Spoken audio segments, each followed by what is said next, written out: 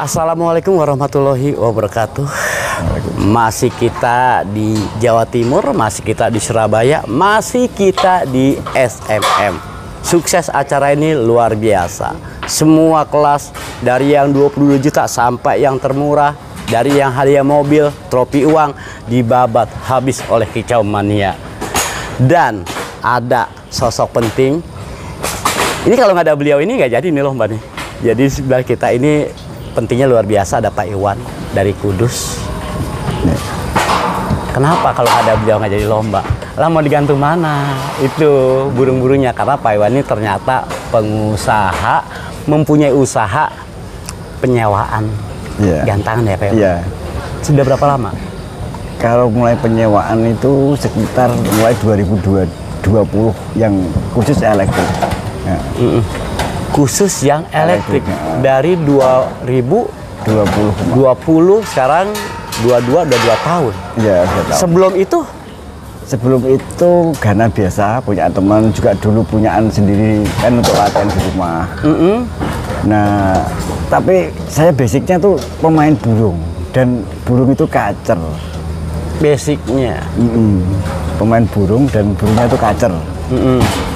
Dan masalah gantangan, galang, gantangan elektrik itu dalam arti kata gini bro. Jadi dia punya di atas itu ada nomor-nomor gantangan yang eh, mempunyai cara kerja elektrik itu bisa ngunci gitu ya, Pak Iwan ya. Hmm. Di mana ketika ada peserta telat gantang, ini ngunci nggak bisa main deh. Ya, nggak bisa gantang gitu. Itu ide, ide, ide dari Jadi sendiri. Pak Iwan sendiri. Iya. Lo kok cerdas ini Pak tua ini kan? Kok cerdas? Gimana? Kok bisa mempunyai ide seperti itu? Eh, iya dulu kan saya ngomong, saya basicnya pemain kacer. Mm-mm. Kalau udah main kacer, pasti ganteng lama-lamaan. Dan terus lagi pernah main itu lomba dan bikin lomba sendiri. Itu selesai padahal ya sekitar 34 kelas lah. Sampai jam 9 malam. Nah, di situlah saya Oh iya iya iya. iya. ah, membuat supaya main ini nggak malam.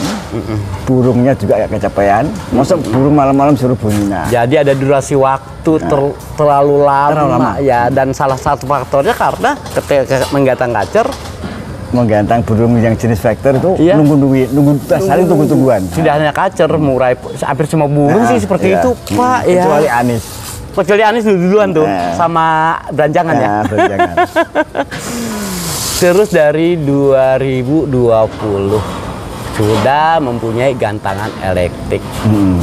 Dipakai sendiri apa memang diinformasikan keluar untuk bisa disewakan? memang tujuan saya untuk disewakan Mm-mm. untuk melatih kedisiplinan Iya. dan terus ada satu lagi untuk mengurangi kecurangan waktu penggantangan nah Bentar, itu bentar, yang bentar, ya kan Kecurangan dalam waktu waktu ketika menggantang. Lah, emang ada?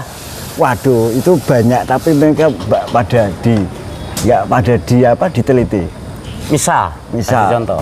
kita main burung Hmm. apalagi burung dulu kan burung yang masih 60 gantangan Iya. nah mereka udah gantang lama-lama ada satu dua pemain yang sering memang dia punya trik gantang paling terla- terakhir Oh, iya, modus itu. nah modus. untuk Modus. diketahui bahwa burung saya tuh ini loh nomor gantangannya secara langsung Iya. biar juri itu nggak bisa ngelak nah itu itulah yang Iya. yang juga untuk di antaranya tuh itu Memang ketika tidak pakai sistem elektrik, kita menggantangkan secara konvensional, memang ada hal seperti itu. Bahkan pemain itu betul-betul Ya memang kadang-kadang di burung factor ini waktu satu menit ini dengan Berharga. kinerja burung pengaruh banget. Jadi ada bahkan satu menit dulu gantung udah udah beradu satu belum mulai. Belum mulai nah itu juga Curangan ya itu ya. Itu juga itu. Modus ya.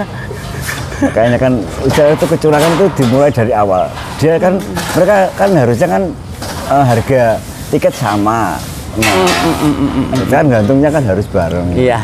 Ini berkat kepekaan eh, Pak Iwan sendiri karena memang basicnya beliau adalah pemain burung pada akhirnya menciptakan bagaimana ya sedikit banyak membantu Ya, sebetulnya dengan sistem betul. elektrik ini. Ya sedikit banyak juga membuat pemain akan menjadi lebih fair play. Hmm, nah, Mungkin itu. dalam pengontrolan Itu. waktu Hmm. panitia ini bisa bisa mempunyai jadwal yang tepat. Nah, Jadi lomba itu. mulai jam berapa, berapa sesi, selesai jam berapa kan bisa dikalkulasi juga ya. bisa terukur dan Iya. tiap burung tuh kerjanya tuh bisa terukur. Mm, mm, mm. Kadang-kadang lebih lama nunggu pemain Nah, gantung daripada penilaian. Penilaian makanya itu. Ini penilaian cuma eh, lima menit Iya. apa empat menit. Menggantungnya seperempat jam.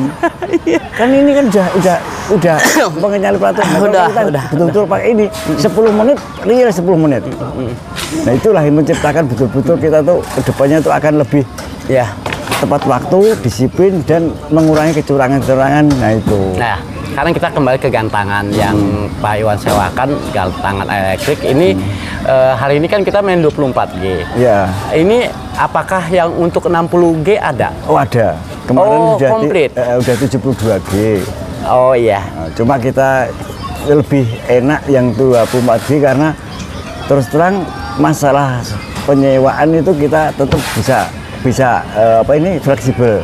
Kalau 260G banyak segini harga, kalau 20G juga kita turunin. Oh, Karena kan beda-beda harga? Beda-beda, karena kan hanya berapa yang kita pasang dan gitu. Iya. Kita itu lebih fleksibel biar pe- apa ini pemain tuh bisa semuanya lini merasakan Iya. betul-betul bisa Semua- oh eh, ya, nah itu. bisa bisa Ya, terjangkau. disiplin lah. ya, Ya. dan disiplin juga. Ya, disiplin nanti juga, itu ya. akan kemungkinan malah kita nanti akan membuat penyewaan yang ini ada yang murah ada yang mahal. Memang ya sama sama fungsinya, tapi bentuknya yang mahal itu memang agak elit dan memang khusus 24G. Mm, mm, mm, mm. Karena 24G rata-rata tiketnya mahal. Iya, karena secara luasnya aja antara 24G dengan yang 60 atau 72 bahkan kan berbeda. Ya, berbeda. Tapi malah nanti yang untuk 60G, untuk yang tiket murah kita malah ngasih murah. Karena nanti biar semuanya tuh eh, disiplin. Kita tujuan itu untuk untuk kecamania. Tapi yang 24G malah mahal karena eh, itu nanti khusus yang 24G ada gandangan khusus yang nanti untuk eh, tiket mahal terus. Iya, iya, iya, iya, iya, iya, iya. Mungkin bahan-bahannya juga beda ya. Enggak sistem-sistemnya nanti. Oh, sistemnya? Nah. Ada yang lebih canggih. Ya kalau yang ini dulu kan untuk eksperimen. Bapak tua ini cerdas, Bro. Nah. Pak Iwan luar biasa. setelah sudah jadi betul-betul Oh. bisa dan saya bikin lagi untuk yang lebih baru kayak ini untuk eh, kalangan istilahnya tiket murah nggak apa-apa. Jadi trial and errornya sudah dijalankan. Beliau mungkin memodifikasi yang tujuannya akan membuat lebih nyaman pesertanya nanti. Masalah harganya juga bisa lebih bervariasi. Yang pasti informasi ini membuat penasaran para penonton. Iya. Berapa harga sewa di luar ongkos kirim tentunya. itu tuh kalau yang ini 60G itu total kalau eh, kan biasanya kan anak buah kalau untuk 60 itu pasti dua itu pasti dan memang eh, terus kalau yang 60G paling sekitar tiga setengah tanpa ongkos kirim. Tiga juta lima ratus. Kalau yang 24G nanti yang baru juga tiga setengah. Oh iya iya iya iya. Cuma Dengan, tek- kan dengan beda. teknologi baru Tapi lah. beda cuma jumlahnya. Ya iya iya. Nah saat iya. ini yang lama ini, yang yang yang terus yang eksperimen ini, yang 60G memang lebih mahal dari yang 24G. Nah kalau yang besok sama harganya. Tapi kan kita kan cuma hanya 24G. Iya iya iya. Nah, arti itu mahalnya itu di situ. Pokoknya sistem elektrik ini apabila menggunakan gantangan Pak Iwat mau 72 gantangan bisa, Bisa. mau 24G apalagi. Dengan semuanya nanti di bawah sistemnya dan apabila yang kebetulan menonton video ini IO IO siapa pun yang ingin membuat lomba bolehlah gantangan yang dimiliki oleh Pak Iwan, Pak Iwan ini menjadi referensi Iya. lah gitu. Terus nomor telepon yang bisa dihubungi? Oh, nomornya 089 677 811 eh 677 111 800 Hmm, coba diulang dari awal Pak Iwan. 089 677 111 800 Jadi kalau nomor telepon memang suka lupa bro, tapi kalau eh, duit bayaran dia nggak bakal Ya, lupa. Sebelum itu dibayar lunas dia belum pulang tuh. Ya. Jadi harganya silakan nanti ditanyakan sendiri oleh beliau berapa berapanya. Itu mungkin masalah ongkos kirim tergantung jarak ya. ya Mau main di mana sampai Jakarta pun diantar ya. oh diantar Om Sel- saya pun sebetulnya mau sampai Medan bisa antar kok cuma ini kan kelihatannya kemungkinan ya Hmm. nanti ada penyewa dari luar Jawa, luar pulau. Tapi kalau Kalimantan memang saya belum berani karena Luar pulau, bro. karena ini Mengerikan. selama perjalanan itu banyak di lautnya. Kalau Hmm. ke Sumatera, ke Bali itu kan cuma berapa kilo di lautnya. Nah, Iya. itu.